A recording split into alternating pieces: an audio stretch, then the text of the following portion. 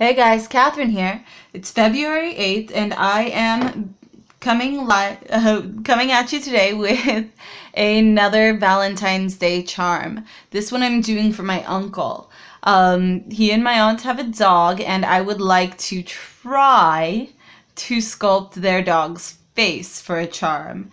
So what I'm going to do is I've got some black and I've got some more black and I've got a tiny bit more black, so I've got a bit set aside and I've got some brown here.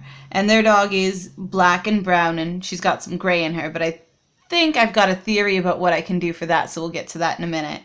I'm just going to take and lightly mix the brown into the black just at one end. See if I can't contain it to just the one side. Um, just to give her a bit of a brown nose, and then I will roll it back into a ball and make it roundish and then find the side that has the brown on it again and start pinching that out. Um, because in theory the dog's face comes forward. Go. I've got a picture for reference. Yep Okay, so her face, well, her nose comes out nearly as wide as the rest of her head because it's got sort of sides to it.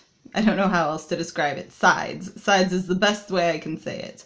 Um, and what I'm going to do is take and just lay this right like this and then mouth down and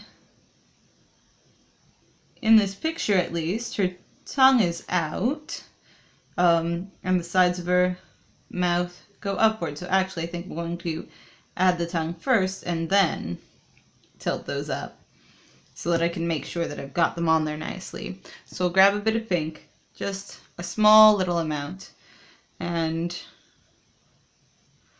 mush it around just a little bit so that I can make a sort of tongue shape.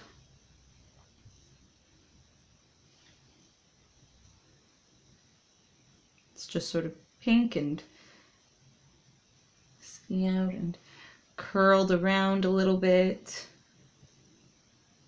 There we go. And then, oh, that is a little too wide. Let's see if we can't bring it in at the edges. There we go. Let's try that. That's better. And then use the X-Acto knife to press it in. Bring it up and in a little bit because it's just, just barely. Without cutting it, hopefully.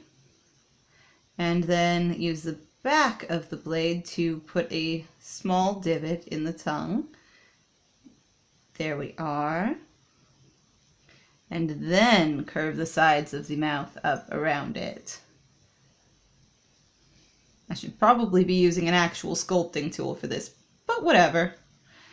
It'll work out, I'm sure. Okay, and then bring the top of the nose down and up sort of in behind here and up. There we go. That's giving me a shape I like. That's a much better shape. All right. Same thing over here.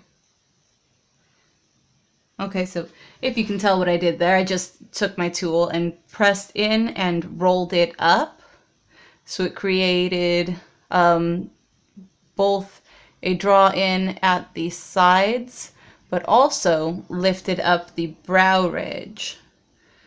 Go, because that does need to be um, a little bit in at the sides.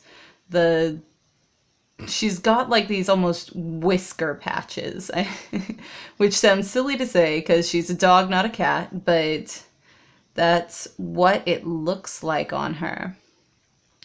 These sort of patches that come out at the sides right on the either side of her nose. All right, and then we're going to take just a small bit of, actually we're going to wait on that, I think. And we want to add some ears for her. Um, actually, no, I've changed my mind again. Before I add ears, I want to texture the face parts. And I've got this little brush here, so I'm just going to take the brush and try not to toss it around and just run the brush down the sides to create a fur texture because dogs are not smooth. No matter who you ask, it doesn't change that dogs are not smooth. Um, there we go. There we are, that's better. That'll give her a better texture so that when I add the rest of the features, I've already got that on there so that, uh, for instance, like when I put the nose on, the nose then doesn't get the fur texture.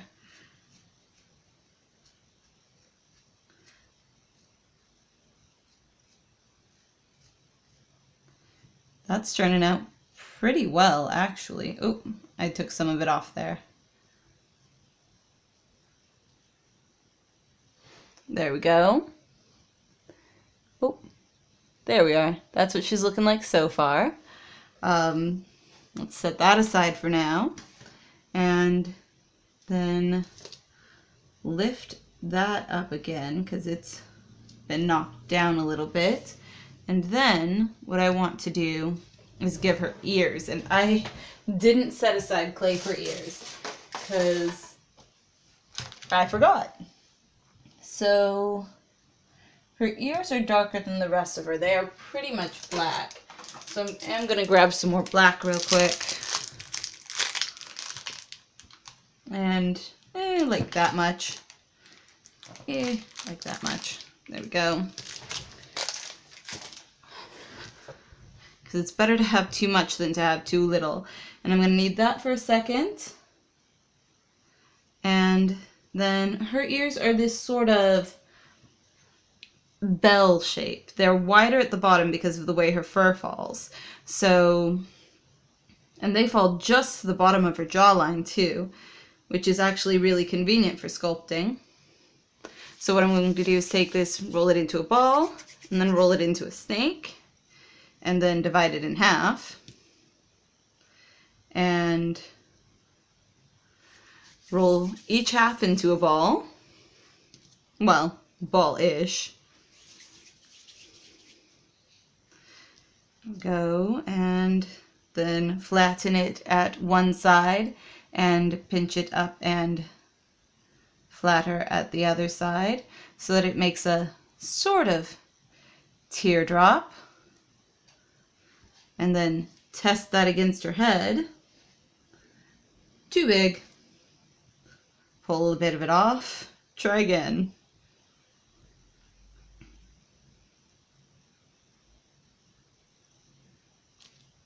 That's going to be too big again, I can tell already without even having put it against her. That's okay, try. There we go. Aha! That's the size we're looking for. So then make the other one the same, which is the tricky part. Or at least close enough that it that, it, it passes for having our head tilted to one side or the other. Um, there we go.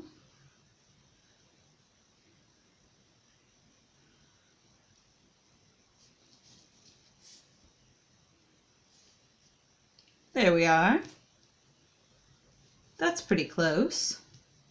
Not too bad anyway. And then, same thing as we did with the head, we're going to add the texture to it.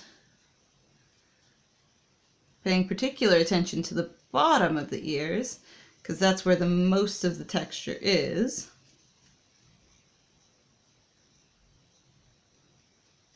There we go. And then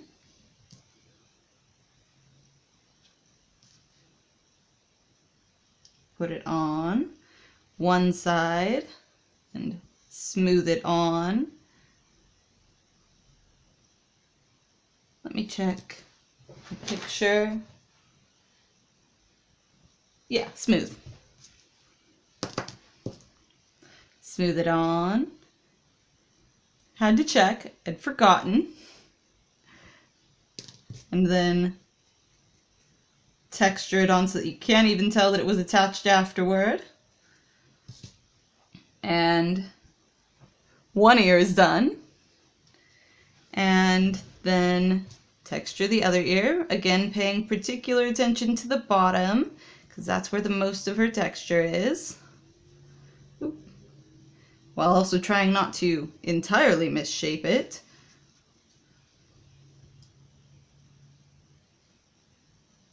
Okay, start over. Sometimes you just start over. There we go.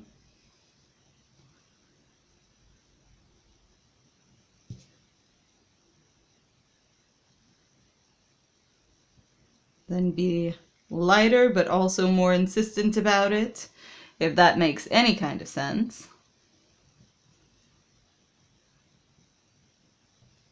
There we go. And then put the other ear on and smooth it down. There we go.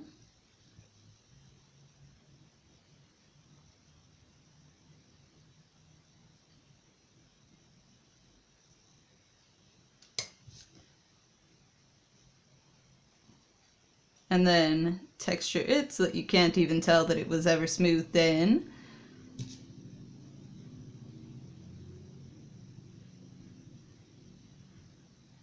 And then add texture back to the whiskers again because it's slowly handled itself off of there. And now, now I'd really like to do the the eyes in a different color, but they're definitely not. Um, our eyes are most definitely black. That's okay.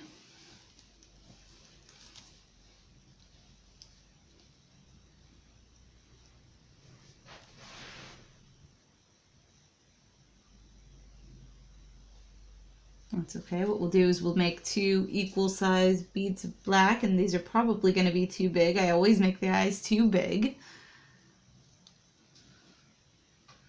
So I'll take one of them and divide it in half. Well, half-ish. And then do the same to the other one.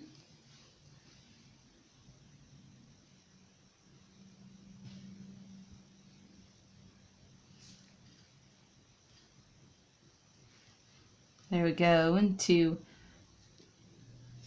roundish eyes while trying not to drop just everything. Oh yeah, way too big. See, and I even took and divided them in half, and they're still too large. That's okay. Do it again.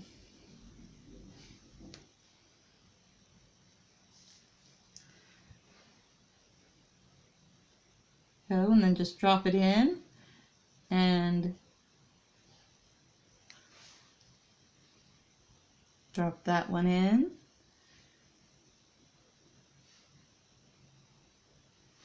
And then aha grab a toothpick and round them back up now that I've squished them out of shape.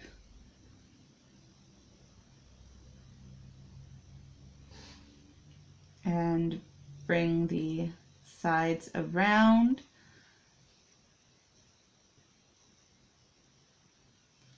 There we go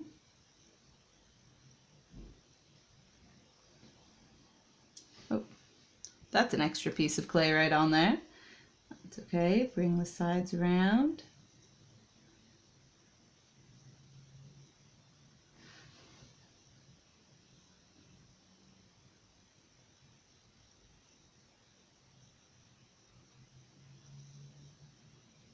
And then just smooth down right between her brows. Go so that it comes down just a little bit.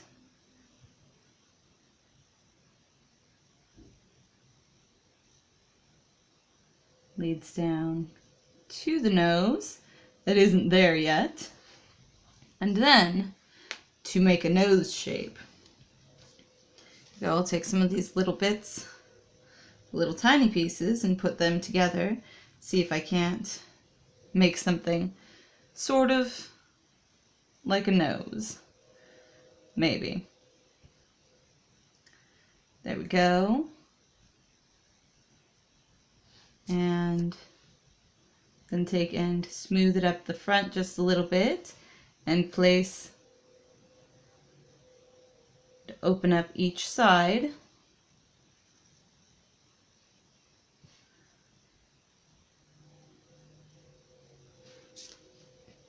All right. And that goes on. Actually, let's not put the nose on yet. I have I've had a thought. So I think why the brown didn't show up when I tried to do the pastel on the pork is because it didn't contrast enough. So I'm going to try and see if I can't do some white to give her some highlights and highlighter her hair and things and see if that doesn't do it. So I'll scrape off some white pastel and grab a brush. And her white is mostly right on the top of her nose. Aha! That is showing up a little bit better than the brown did anyway. And on the sides,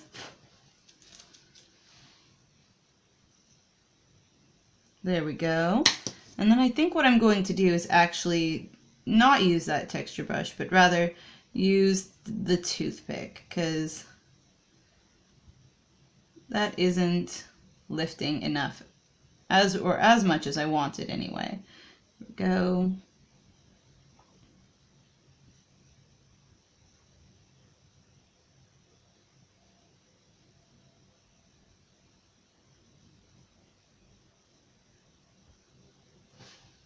That's better.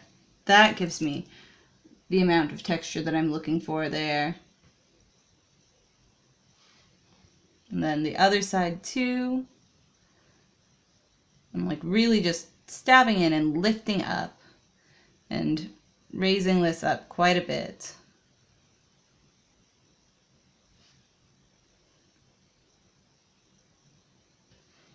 There we go. And then see if I can't dust that again.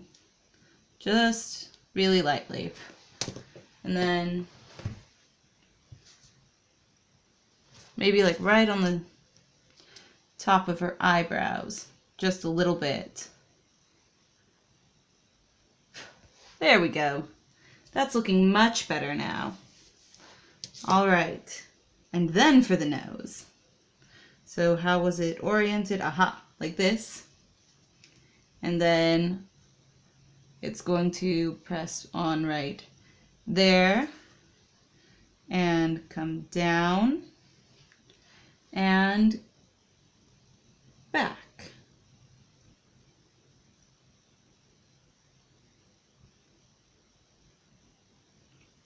And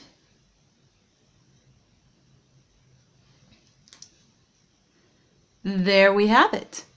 One puppy dog uh, charm. Uh, she still does need a pin though.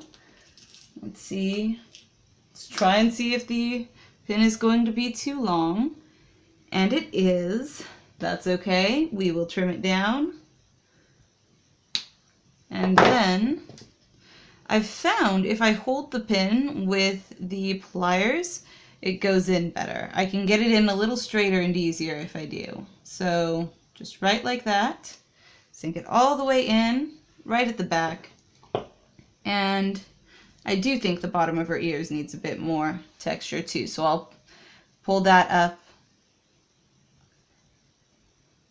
Go as well. There we go. One side.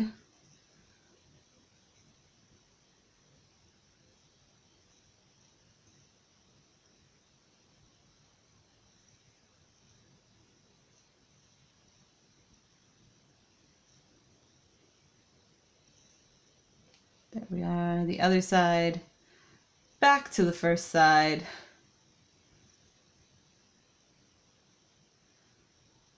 And there we have it, for reals is this time. One, puppy dog. All right. Um, this has been the 8th of February. Uh, see you guys tomorrow. Bye.